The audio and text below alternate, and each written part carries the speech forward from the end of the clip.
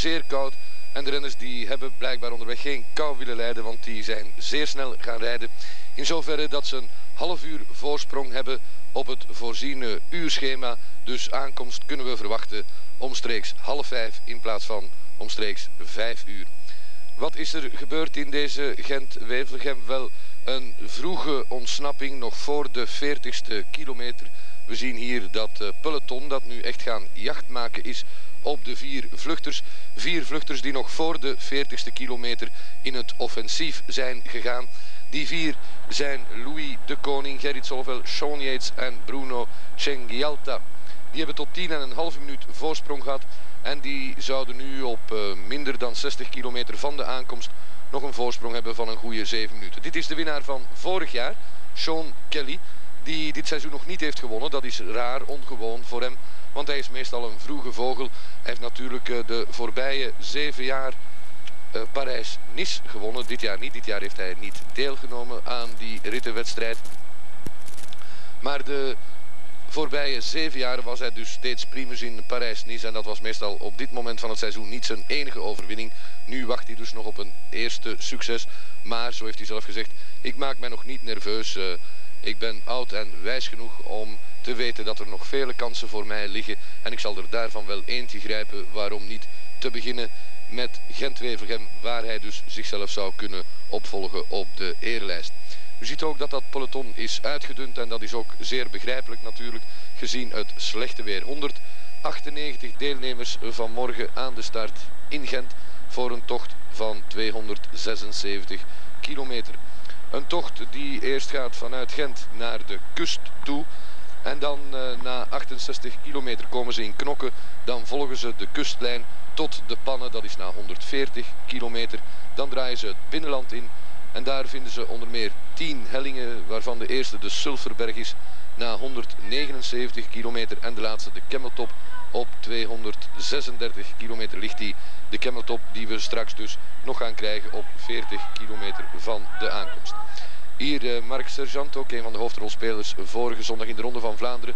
De winnaar van die Ronde van Vlaanderen is er niet bij, Edwig uh, van Hooijdonk. Die uh, rijdt morgen in Frankrijk als voorbereiding op Parijs-Roubaix van komende zondag. Een uh, fel uitgedund peloton trouwens. De schifting begon al vroeg in, de, in deze wedstrijd. Onder meer dus door het uh, strakke tempo dat van bij het begin werd aangehouden.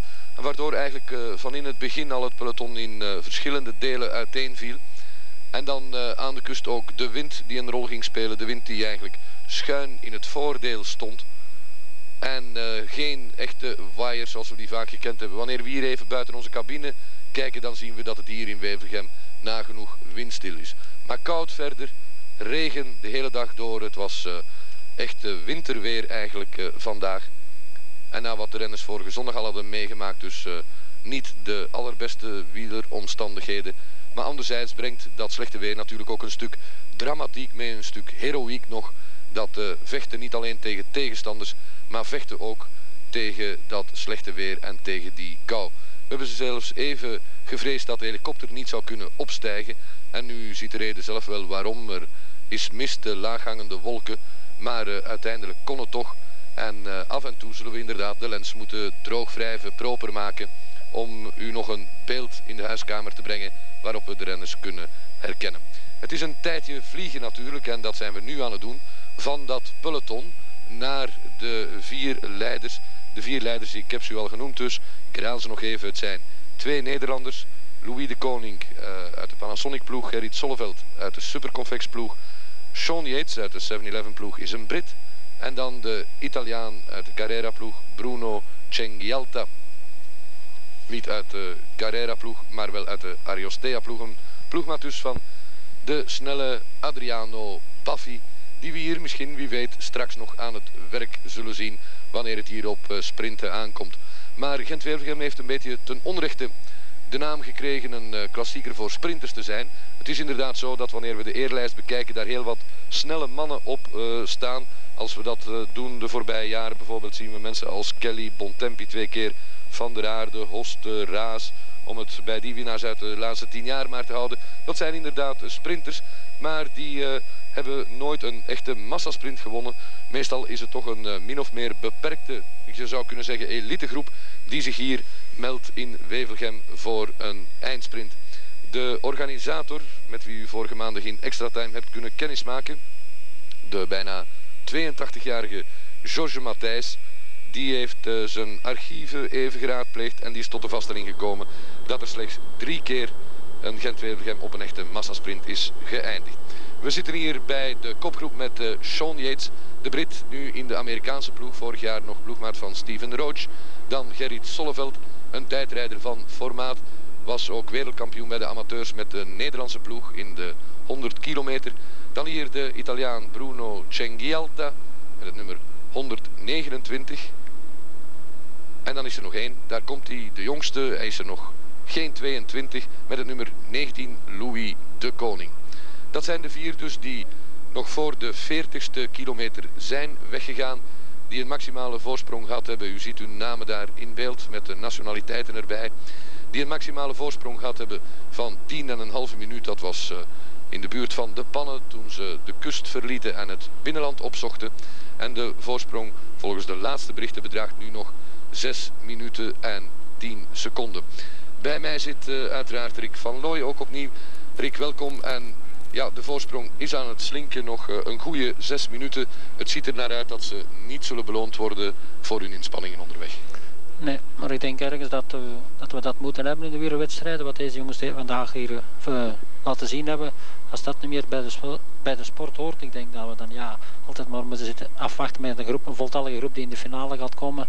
Maar ik denk wel dat hij een, volgens mij, of voor mij is het goed dat de jongens toch zo lang voorop kunnen blijven zijn dat de televisie, dat ze in de televisie dat ook de mensen thuis kunnen zien hebben wat de jongens gepresteerd hebben. Ja, want het was bijzonder koud vandaag, Rick. Ja, ik denk, uh, bij ons zeggen ze gewoon dat ik weer voor een hond te jagen, maar ik denk wel dat als je de renners, dat je met schikken al van aan de weersomstandigheden en uh, is het te koud of is het te warm, dat zal altijd uh, een vraagteken blijven, maar wie bij welk weer hè, de beste omstandigheden of in welk weer hij het beste presteert. We gaan daar opnieuw naar de hellingen. We moesten daar net goed uitkijken met de renners ook. Want uh, het is daar draaien en keren altijd rond dezelfde hellingen. Je zou er wel eens de tel bij kwijtraken, maar daarom liggen daar ook die cijfers. U zag een grote 8 staan en de achtste helling dat is de Schomminkel na 231 kilometer op 45 kilometer van de aankomst. En daar zijn we met uh, de leiders. We zagen daarnet ook hoe Gerrit Solleveld even met de handen ging slaan, met de armen ging slaan om weer wat uh, warmte te krijgen. Nu hebben de renners uh, betere bescherming dan in jouw tijd, Rick. Nu zijn er thermopakken, dus pakken die de warmte, de lichaamswarmte beter bewaren, die meer bescherming dus bieden. In jouw tijd was dat eigenlijk, uh, mag ik het zo zeggen, wat primitiever. Ja, ik denk dat dat in alle omstandigheden, in alle sporten een beetje moderner geworden is en daarmee ook zal bij de wielrennerij zoveel te beter. Maar ik denk toch wel dat gelijk je juist gezegd hebt, dat de voeten en de handen dat die onmogelijk te verwarmen zijn, maar dat die altijd bijna in een stilstaande fase werken. En uh, wat je dat straks aangehaald hebt, dat, uh, dat ze zoveel voorsprong hebben, dat ook een weer is wat de renners eigenlijk het tempo moeten hoog houden om warm, de eigen warm te rijden, laten we maar zeggen. En dat ook in het belang is van de, van de, van de mensen, van de toeschouwers, dat ze een goede wedstrijd kunnen meemaken. Het belangrijkste is inderdaad goed, in alle geval de voeten, het hele lichaam, maar eigenlijk vooral de voeten en de, de vingers. Want als die kou hebben, dan is het te laat. Dan, dan hoef je geen handschoenen meer aan te trekken, dan kan je die niet meer verwarmen. Ja, maar ik denk dat dat uh, voor alle renners hetzelfde is. Maar volgens mij was het, het belangrijkste is dat je lichaam toch zeker de, dat de, de voorkant, de borstkant, dat dat toch al die, die zucht, laten we maar zeggen, als dat nat wordt en dat je daar de meeste kou en dat het hele lichaam kou krijgt, dat je dan wel ook door de omstandigheden en dat het weer meebrengt, dat je daar uh, de gevolgen van kunt krijgen als je niet, niet genoeg eten binnenneemt. En dat het heel belangrijk is met zo'n dagen van daarop te letten. Dat is uh, de bevoorrading die je meegegeven wordt, dat je daar in tijds gebruik van maakt. Eten renners nu anders wanneer het uh, koud is en uh, regen zoals vandaag dan wanneer het warm is? Ja, anders zal dat niet zeggen. Ze gaan misschien hetzelfde meenemen, maar ik denk dat er met deze weer zal er zeker meer gegeten worden tegenover dat, er warm, dat het warm is. En het warm is wordt er meer vloeiend eten genomen, laat het zo maar uitdrukken. En veel suikers dat je ook nu nodig hebt, doordat het je ziet meer af volgens mij, van, allez, door mijn ondervinding, van kou dan van de warmte. We zijn hier bij Louis de Koning, die het even moeilijk heeft. om zijn gezellen te volgen op die schomminkel. Wie de Koning is al een paar keer in de problemen geweest bij een helling, maar hij pikt hier toch weer goed aan aan het wiel van Chengi Alta, van Gerrit Solleveld, hier in beeld dus. En vooraan, daar rijdt hij met het nummer 123 dus, de Brit Sean Yates. Die beklimmingen beginnen toch door te wegen na zo'n uh, lange dag eigenlijk. Een totale afstand dus van 276 kilometer. En daarvan moeten de renners er nu nog 45, iets minder nu, afleggen. Dat betekent in volle finale nog een uur wedstrijd ongeveer. Gent-Wevelgem is vaak een uh, snelle wedstrijd ook. De wind speelt daarin een uh, belangrijke rol. In de hele ontwikkeling vaak van Gent-Wevelgem trouwens. Wanneer die wind bijvoorbeeld schuin op de schouder gaat staan. En dat gebeurt nogal eens wanneer ze de kust verlaten en de binnenland indraaien. We gaan nu naar de negende helling toe. De voorlaatste van de dag, dat is de Banenberg. Op 45 kilometer van de aankomst. En uh, dan gaan uh, die renners in wires uiteen gaan vallen. Wanneer dus die wind schuin in het nadeel gaat uh, staan. Het recordgemiddelde van Gent-Wevelgem is gevestigd drie jaar geleden door Guido Bontempi. Die er toen zijn tweede zege behaalde in deze klassieker. En Guido Bontempi won toen met een gemiddelde van 44 kilometer 776 meter. Maar kijken nu naar de Banenberg waar we zijn met de vier leiders. U ziet daar ook nog de sneeuw liggen. Gisteren heeft het hier inderdaad uh, behoorlijk uh, gesneeuwd. En men vreesde al even dat de wedstrijd niet zou kunnen doorgaan. Links en rechts waren er al uh, mensen die in paniek raakten. Maar de organisator Georges Matthijs die zei rustig blijven. We zien het morgen allemaal wel en vandaag is de wedstrijd dus gewoon kunnen doorgaan. Zij het dan niet in de beste weersomstandigheden. Maar ja, dat heb je natuurlijk niet in de hand. En nog eens, een wielerwedstrijd wint vaak aan, aan grootheid. Precies wanneer die in slechte weersomstandigheden wordt gereden. We zijn boven op die Banenberg. De renners draaien nu linksaf en nemen dan zo dadelijk de bocht naar rechts. Het is een korte, nijdige klim die ze daar gehad hebben. Ze gaan nu rechtsaf draaien en nemen dan weer de grote weg daar. Voorsprong is intussen gedaan tot 5 minuten en 15 seconden. Ze verliezen dus uh, meer en meer uh, terrein ten opzichte van hun achtervolgers. En dus dat wijst er ook op dat zij met nog een kleine 45 kilometer te rijden wellicht voor een hopeloze taak staan dat het peloton zal terugkeren. Een peloton waar zeker nu gereageerd wordt. We gaan met helikopter wellicht op zoek naar die groep. Daar in de verte ergens moet die groep zich melden. En u ziet ook hier goed dus de mist, de lage wolken. Maar gelukkig zat er toch nog voldoende ruimte onder om de helikopter in de lucht te laten gaan. En daardoor kunnen wij u ook deze reportage brengen. Reportage die trouwens ook door een aantal andere stations wordt rechtstreeks overgenomen. Onder meer door de Italiaanse televisie, de RAI, de Nederlandse televisie, de NOS. Uh, onze collega's van de RTBF natuurlijk ook. En dan zijn er ook nog een aantal andere stations die het overnemen. Joegoslavië onder meer, en wij zagen verder ook collega's van de Duitse televisie. 5-15 dus het verschil tussen de vier die we daar straks verlaten hebben en deze groep. Een groep die nog verder zal uitgedund worden op de allerlaatste hindernissen van de dag. En dat uh, is voor dit uh, peloton ook nog de Banenberg.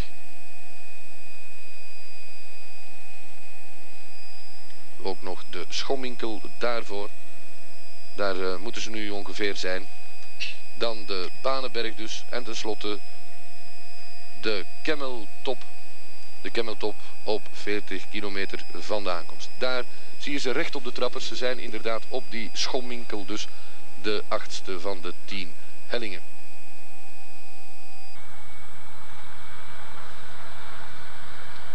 Sean Kelly uh, aandachtig mee vooraan. In elk geval al de hele tijd door. Hij rijdt vlak achter onze tweede mobiele camera. De eerste zit dus bij de vier leiders. En Kelly die even omkeek om te zien hoe groot die bende nog was en wie ermee naar voren kwam. Kelly van wie uh, bekend is dat hij houdt, is veel gezegd uh, van slecht weer, maar dat hij liever in elk geval kilte heeft en regen dan eh, zon bijvoorbeeld.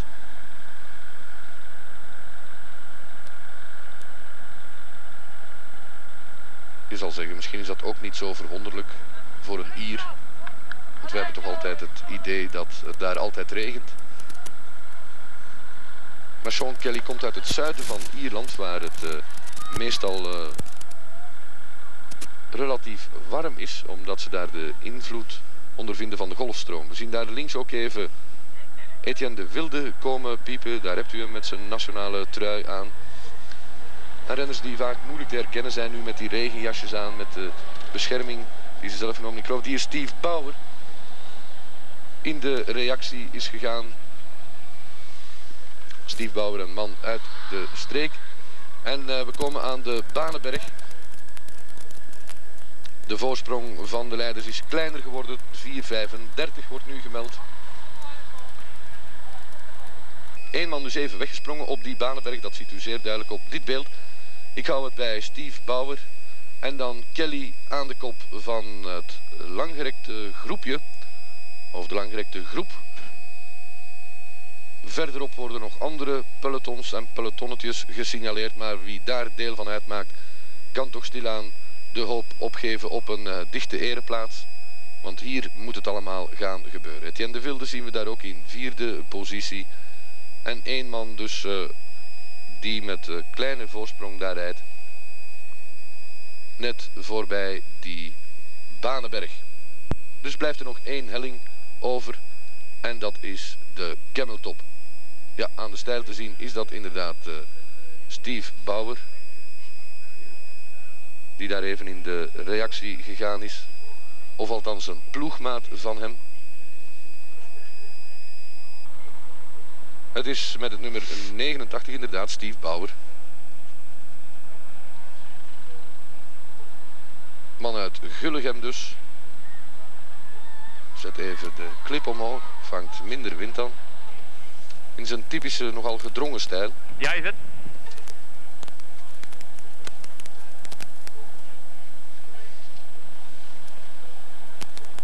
Het is inderdaad Steve Bauer die op die Banenberg, die zeer steile Banenberg, in de reactie is gegaan en nu in de afdaling van de Rodeberg, de brede Rodeberg zit, op zoek naar de vier leiders. Maar die zitten nog redelijk ver, want Lang heeft in het peloton de overtuiging geleefd dat ze die niet echt meer zouden krijgen. In het peloton werd ook Lang niet gekoerst, wel hard gereden, maar niet gekoerst. Dat klinkt misschien vreemd, maar het was wel zo, dankzij de wind natuurlijk.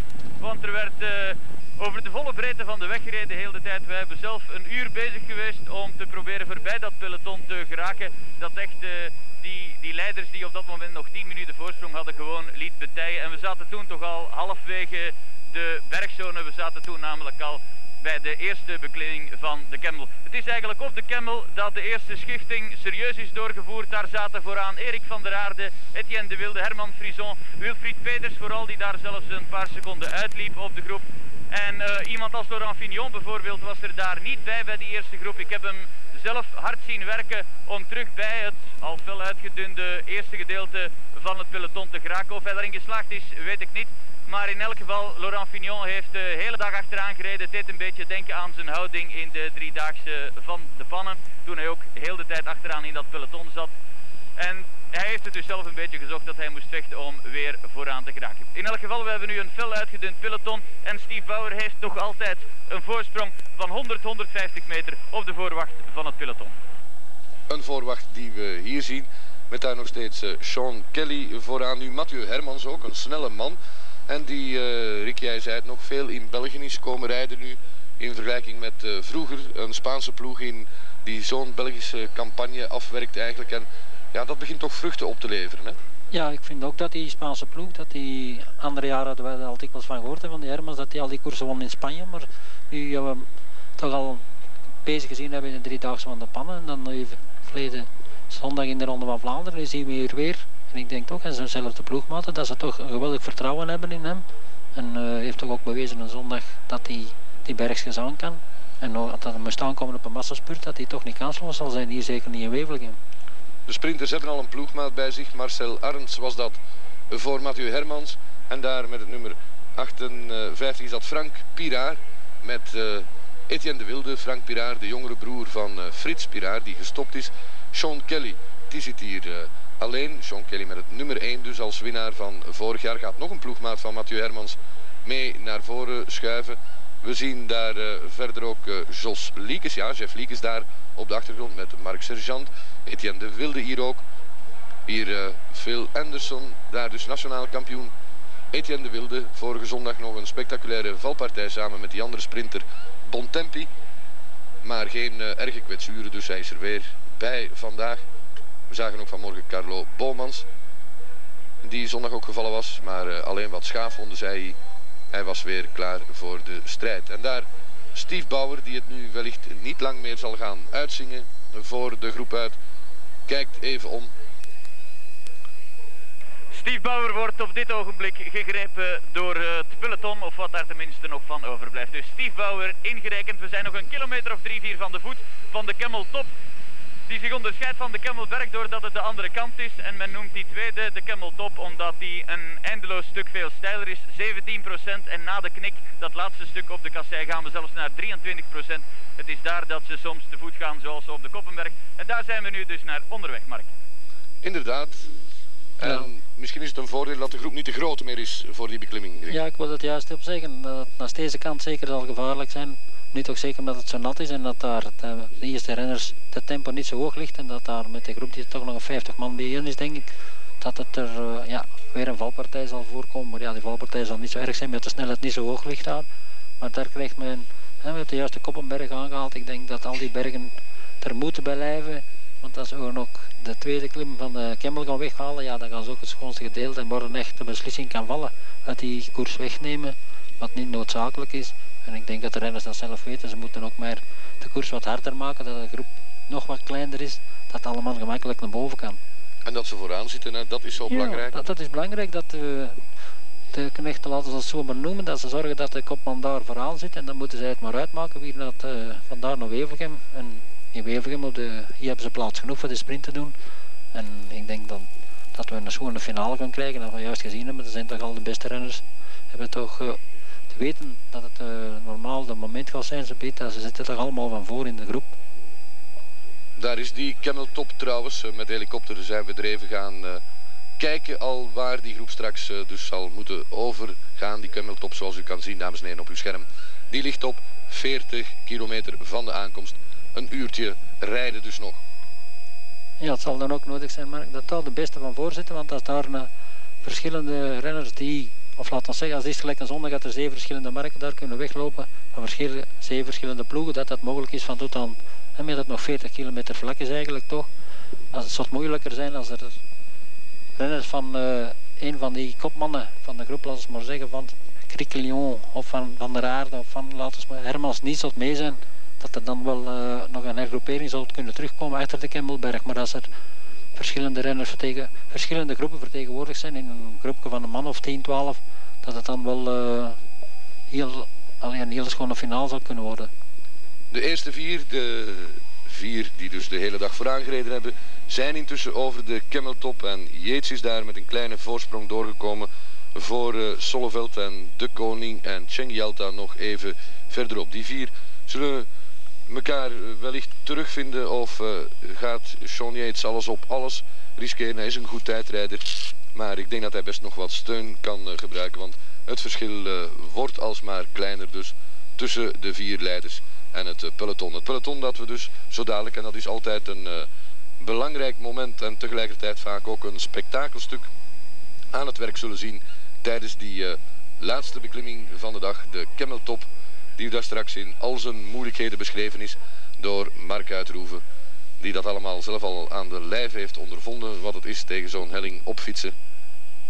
En ik denk ook wat je juist zegt van Jits dat met die finale de laatste 40 kilometer en we kennen die, die wegen allemaal zijn brede wegen en de wind zit ook in de verkeerde richting voor hemzelf wat dat alleen onmogelijk is van dat te halen. Ja, we staan hier bovenop de Camel Top. Even kijken wie daar uh, aan de leiding rijdt. Ik neem aan dat u het ook op uh, beeld krijgt. Onze camera is hier uh, in de buurt nogthans. Het is uh, zwalven hier vooraan. Het is Sean Kelly die eerst boven is gekomen. Met Steve Bauer naast hem en die hebben een tiental meter voorsprong. Op Frans Maassen die de rest aanvoert, Dagotte Lauritsen. Gerard Rivet zit er ook bij. Etienne de Wilde, Adrie van der Poel. Guido von Tumpy, Mark Sergeant, Erik van der Aarde, Rolf Seurissen geloof ik heb ik er ook nog gezien, Johan Capiot. En zo, dat zijn ze zo ongeveer, ik denk een twintigtal mensen, daar gaan er een aantal te voet ook. Ja, de rest mogen we vergeten. Deze zijn door en uh, degene die ik genoemd bedoel ik en de rest allemaal te voet naar boven. Allemaal, zonder uitzondering. Ja, je weet hoe dat gaat. Als er eentje te voet gaat, dan gaan ze allemaal te voet op dat laatste van die helling. Patrick Verschuren komt hier ook nog door. Maar die heeft ook uh, even te voet moeten wandelen. Dirk de Wolf, nogthans in vorm, heeft zich terug op de fiets gehesen en met een kleine versnelling nu erachteraan. De rest is geslagen. Ja, Mark, wij zien inderdaad die beelden hier vanuit de helikopter van de renners die uh, daar nu met moeite naar boven geraken. Inderdaad, de voet daar allemaal fietsduwend. En het is niet makkelijk op die gladde keien ook. Uh, degene die nog rijden met de traditionele voethaken, met die plaatjes onder de schoenen. Het is uh, moeilijk daar klauteren dan. Ja, maar dat brengt dat mee. Ik zeg het Mark, dat was, dat was te voorzien dat daar op dat stijl stuk in... En de groep komt eraan tegen, laten we zeggen, 30, 35 in duur. En op het moment dat ze de voorste renners dat, dat tempo niet kunnen houden, dat heel logisch is, ja, dan, dan wordt er van achter, staat er bijna stil. En ja, wat gebeurt er dan? Ja, dan kun je in gang met dat weer. Het wiel draait rond van achter en je moet gaan, je valt automatisch om. En ja, dat is niet van, van vermoeidheid, maar wel ja, dat er geen plaats is om, om door te kunnen. Hè. En het verschil tussen de leiders en het peloton is nu nog drie minuten. Dus op 40 kilometer van de aankomst nog drie minuten. Dat was dus tijd opgemeten boven op die Cameltop. We hebben dan de afdaling en dan hebben we eigenlijk alle moeilijkheden, alle hindernissen gehad. Alleen de inspanningen zullen gaan doorwegen als gevolg van uh, de hoge kilometrage, toch 276 kilometer in totaal.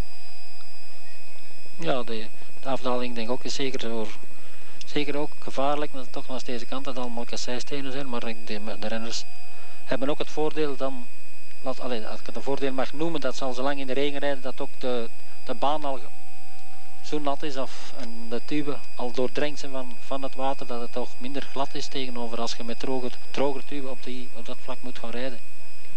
Drie minuten dus uh, voorsprong nog voor de vier leiders op wat we zouden kunnen noemen de elite van het peloton.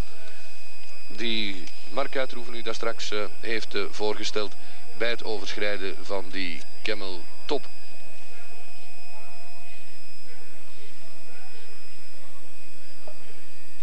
En vooraan is het groepje ook uiteengevallen. Yates en Solleveld, dat blijken de twee sterksten te zijn. Die uh, rijden samen. Op een twintigtal seconden volgt dan het duo Cheng Yalta en De Koning. Het peloton dus op drie minuten. En nu gaat men daar weer uh, wat gezelschap gaan zoeken. Gaat men rondkijken wie er allemaal zit. Hier dag Otto Lauritsen. Van die zondag zo sterk reed al in de Ronde van Vlaanderen ook. Die net niet mee kon met Edwin van Hooijdonk, Sean Kelly voor hem, dan Frans Maassen. En hier, ja, ja, niet te vergeten, twee keer winnaar al, Bontempi is er ook bij. Hè? Ja, dat ligt zo zijn renners altijd die zekere wedstrijd dat toch een voorliefde voor hebben. En dat bewijst hij nog weer eens dat hè, gewoonlijk de Italianen met, dit, met dit weer en, de, en op, deze, op deze parcours, laten we maar zeggen, dat toch Bontempi al bewezen heeft dat geen twijfel hem toch... Uh, goed op het lijf geschreven is. En Capiot is daar gaan demareren. Ludo Peters met Kelly vooraan. Aanval dus van uh, Johan Capiot. Dit is Frans Maassen. Peters er aan de leiding. In de verte zien we Johan Capiot rijden. Een sprinter die ook voor de aanval kiest. Ja, maar ik denk de sprinter ook die ook met dat weer, wat hij al bewezen heeft van vorig jaar in de Brabantse pijl. En ook met, uh, met andere wedstrijden waar het echt... Uh, de vorige wedstrijd in Holland denk ik dat geweest is, ook met hetzelfde weer, dat hem dat wel ook ligt. En uh, ik vind het een goede, goede methode van hem, van niet te lang te wachten voor die beslissing, maar dat er achter in dat groepje waar, waar ze erbij zit, zoveel goede renners zijn en dat zoveel te dichter als je bij de aankomst komt, zoveel te moeilijker zal het worden om weg te lopen. En nu zit die kans er misschien nog in. En inderdaad, Rick, uh, Johan Capiotti lijkt wel het beste presteren in, laten we zeggen, slecht weer. Hij zei ook vorige zondag heb ik mijn beste ronde van Vlaanderen gereden. Hij gaat nu toch een regenjasje aantrekken en drinkt niet meer aan. Ja, dat is dat het. Hè? Dat zal misschien gedemereerd hebben voor op gemaakt zijn jasje kunnen aan te trekken, maar dan moet het toch wel zeker goed zijn dat je dat wilt verdemereren. Dan moet, ik denk niet als je minder goed bent dat je wel bescherming zal, zal zoeken in de groep om dat jasje aan te trekken. Ja, en Capiot is weer bijgehaald door in eerste instantie een man of vijf. Onder aanvoering hier van Mathieu Hermans. Hou die in de gaten. De snelle Nederlander. Die in het begin van zijn profcarrière ook een meer dan begaafde veldrijder was. Dan hebben we Steve Bauer daar met het nummer 89. Hier hebben we Guido Bontempi, 81. En die hebben zich eh, even afgescheiden. Dag Otto Lauritsen springt daar nu naartoe. Hermans even in de problemen. Pikt daaraan bij Lauritsen. En dan hebben we Wilfried Peters daar met Frans Maassen. 59, daar is Wilfried Peters. Hier Sean Kelly. het is op de tanden bijten nu. Het is uh, vechten. Een man die ik niet direct herkend heb. Hier Adrie van der Poel. Met uh, Etienne de Wilde. Adrie van der Poel vorige zondag ook niet in best te doen. In de Ronde van Vlaanderen. Etienne de Wilde dus. En die sluiten allemaal weer aan bij die vier, vijf renners die daar even voorop waren gaan uh, rijden. Hier hebben we ook Gerard Ruwe gezien nog. Erik van der Aarde zagen we er ook. Ja, met het nummer 17. Erik van der Aarde is er ook nog bij. Even zien. 1, 2, 3, 4, 5, 6, 7, 8, 9, 10. Ja, 15, 20 renners. En Bontempi gaat weg. Ja, Bontempi, ja, zal met al die renners bij hem. Dus hij zal ook toch nog de groep wat groot vinden met, de, hè, met het risico. Maar ik denk ook dat we allemaal weten wat Botempi al gepresteerd heeft in uh, Gent-Wevelgem. Dat ze met die elite groep die er nu bijeen is, dat we, ik denk, allez, ik hoop dat we een massa, de sprint mogen krijgen onder die mannen samen. Hier, voor, hier vooraan Guido Bontempi en Frans Maassen. Dat zijn de twee die zich lichtjes hebben afgescheiden van de keurgroep die is overgebleven na de beklimming van de Kemmeltop. En zij worden ook niet bijgehaald daar, ja, door uh, Ludo Peters. Dat is nu de wegkapitein van uh, Mathieu Herman. Zij is de gids, de man die die ploeg moet leiding geven. Die in de wedstrijd de tactiek moet uh, bepalen. Dat is zoals in het voetbal, waar de trainer op de bank zit en wel veel kan roepen. Maar hij heeft eigenlijk een soort verlengstuk in het veld nodig. Wel zo heb je dat ook in een wielerploeg waar de sportbestuurder vaak nog verder af zit in die volgwagen. Dan heb je iemand nodig met ervaring, met autoriteit ook. Die kan zeggen, kijk, uh, zo gaan we nu rijden. Die dus de verantwoordelijkheid neemt. Een aanval van Jeff Liekes, Mark. Een aanval van Jeff Liekes, zondag nog ten val gekomen. Wat zeg ik, ten val gekomen? Lek gereden op een vervelend moment in de Ronde van Vlaanderen. En hij heeft onmiddellijk een uh, maandje of drie mee. Ludo Peters is daarbij, hier in vierde positie. Even verderop kijken wie er nog bij is. Met het nummer 59, dat is Wilfried Peters. En met het nummer 31, Nico Verhoeven. Zo, de sprinters die blijven aanvallen. We hebben Capiot al gehad, Bontempi, nu Liekens. Het kan dus inderdaad nog een uh, bijzonder boeiende finale worden, Rick. Uh, het is duidelijk dat uh, de renners er ook echt wel wat willen van maken. Hè?